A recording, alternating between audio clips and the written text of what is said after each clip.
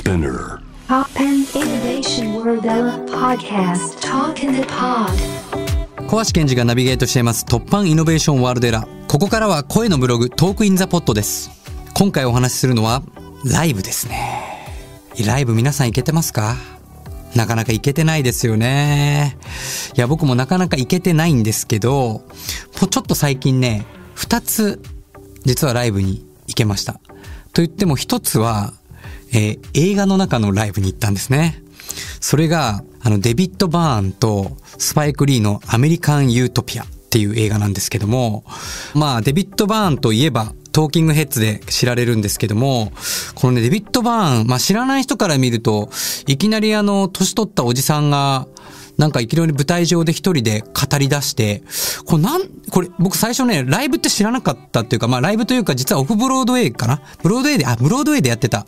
あのミュージカル風なんですけど、でもなんか全然ライブって知らないんで最初誰だろうこのおじさんみたいな感じで多分見てる人も結構多くて、なんかこう淡々と喋り出すんですけど、気づくとどんどんどんどんこうバンドメンバーが出てきて、で、語ってることがですね、すごくこう、例えばですけど、脳のシナプスのつながりは、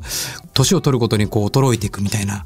でもそれって赤ん坊が最も賢いのかとか、人間は何のために存在して、何のためにこう生きているのかみたいなこう命題に対して、こう政治とか選挙とか、こう移民問題とか、そういうこうね、重厚なこのテーマをこう切り口にしていくんですけど、これがまたね、こうね、重すぎなくて、こう絶妙なこう語り口でね、こう表現をね、こうどんどんどんどんね、ユーモアに展開していくんですよ。で、またね、音楽も、あ、多分、最初こう、デビッド・バーンが出てても誰だか分かんなかったんですけど、突然途中に入ってくる音とか、うわ、これ聞いたことあるとか、なんかあの、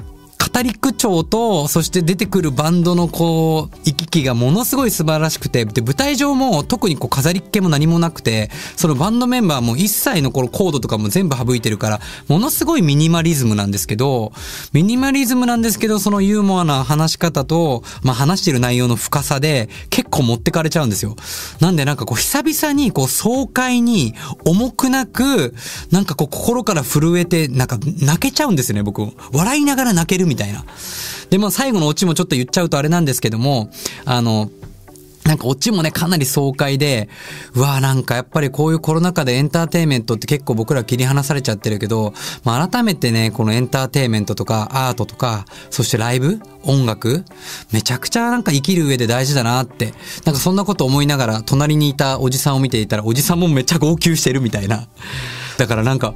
僕最近、ちょっとこう、年取ってきたのかわかんないですけど、こう、類線が弱くなってきて、すぐこう、感動するようになっちゃってるんですよね。まあ、もしくは、やっぱなかなか最近、こう、エンターテイメントにも触れられてなかったから、感動ポイントが減ってた分、まあ、どっかでこう、溜まってたのが、こう、急にこう、出だしたのか、かやっぱたまに、やっぱ見に行くの皆さんいいなと思いますね。で、あともう一つ行ったライブ。これはあの、あの、リアルで、あの、行ったライブなんですけども、あの、西川五平さんって言って、7本指のピアニストって言われていて、病気、ジストニアっていうね、こう、あの、病気になって、もともとはすごい素晴らしい、もうもちろん10本動くミュージシャンだったんですけども、急にその謎の病気になって、7本しか指が動かなくなって、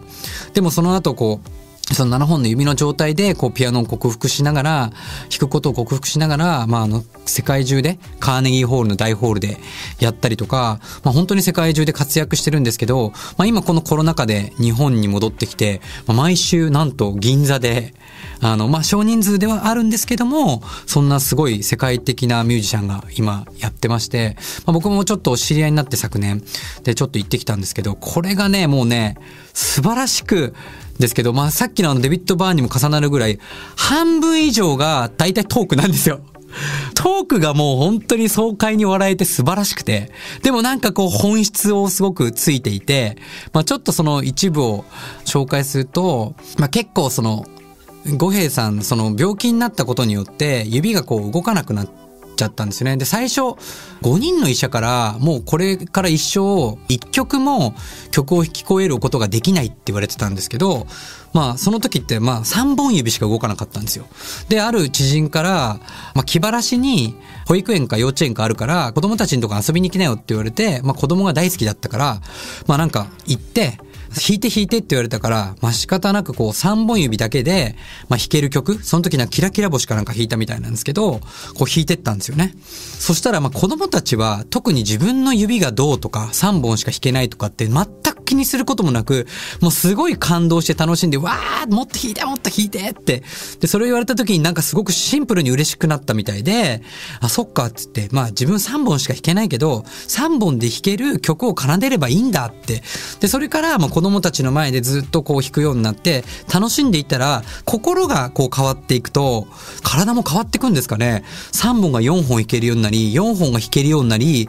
ついに5本が7本弾けるようになって、で、まあ、もちろん7本だからといって、昔みたいにプロミュージシャンとして弾けるような音楽を弾けないんですけど、そっかって自分がこう7本で弾ける曲を弾けようって向き合っていた時に、まあ、ある時に今まで自分はこう本当に音楽を綺麗に、そして正確に早く弾こうとしてたのが、7本でしか弾けないので、普通のミュージシャンみたいにこう早くスラスラ弾けないんですよね。でだから、一音一音をこうしっかり奥深くあの弾くようにしてったら、音の、例えばドだったらドの奥のさらにある